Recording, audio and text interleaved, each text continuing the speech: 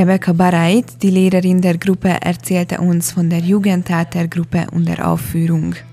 A Junge DBU már nagyon régóta, nem is tudom, hogy hány éve, egy, egy olyan csoport a Német Színházban, ahol fiatalok állhatnak a színpadon, saját darabot hozhatnak létre. Ez az idén egy krimi lett, amit szeptember óta ők találtak ki egészen egyedül. Az a címe, hogy Tanuk nélkül, keine Zeugen, és igen, ma van a szülők, szülőknek, barátoknak, tanároknak az előadás. Die kleinen Schauspieler des deutschen Theaterstücks waren am Tag der Aufführung ganz aufgeregt. Die Kinder gehen nicht in dieselbe Klasse, aber sie waren sofort auf der gleichen Wellenlänge. Es ist ein Krimi, äh, das haben 14 Kinder gemeinsam geschrieben und äh, es heißt ohne Zeugen, also ja. Die Kinder hatten sich sehr gut auf die Aufführung vorbereitet, denn sie waren von Anfang an für das Stück verantwortlich. Die Gruppe hat sich in der Vorbereitung gut zusammengefunden. Die Schüler verbringen ein ganzes Jahr damit, das Stück zu schreiben und zu proben. Mi mind ugye írtuk ezt, mint a Junge DBU, és hát kb. egy évet töltöttünk ugye az írással. Ugye minden évben egy egész évet töltünk egy darabbal. Mi mind adtunk egymásnak ötleteket, és például az egészet ugye egy ugye év elején ugye kiírtuk egy nagyon nagy ö, lapra, hogy akkor miket szeretnénk csinálni. És ezt mindenki azt mondja, hogy elején vagy krimi, vagy thriller, vagy valamilyen gyilkosságos. Szóval végül is ez volt az ötletadó, hogy valami ilyesmit szeretnénk csinálni. Azt gondolom még jónak, hogy ö, több korosztályban is ugye vannak így gyerekek, ezért sokkal több nézetpontot és sokkal több ötletet is tudunk ugye egymástól hallani. Katalin Lotz, die Leiterin der Deutschen Bühne Ungarns, erzählte uns von dem Stück, den Vorbereitungen und den Aufführungen. Heute zeigen wir, oder zeigt die junge DBU ihr diesjähriges Stück den Eltern und allen anderen Interessierten. Das ist eigentlich äh, das Ziel dieser, dieses Nachmittags.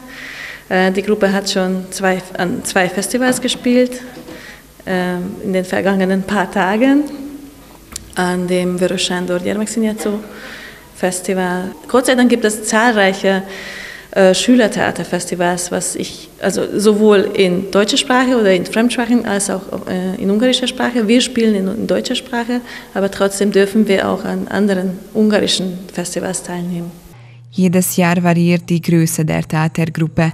Glücklicherweise ist der Gruppenleiterin jedes Jahr der Aufgabe gewachsen, sodass die Kinder die Erfahrung des Schauspielens machen können.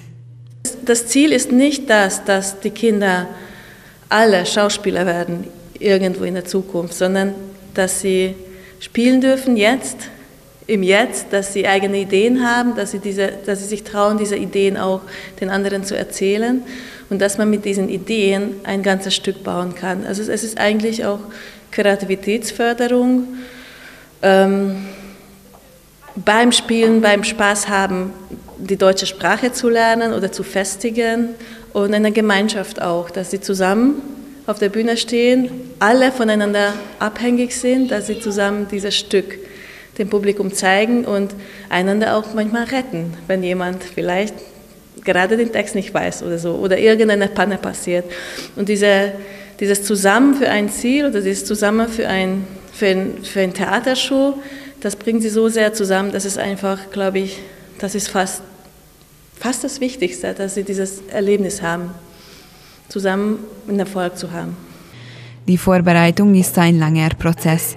Das Stück wurde vollständig von den Kindern entworfen, damit sie ihre Kreativität entwickeln und lernen konnten, im Team zu arbeiten und Erfahrungen zu sammeln. Először témát választottak.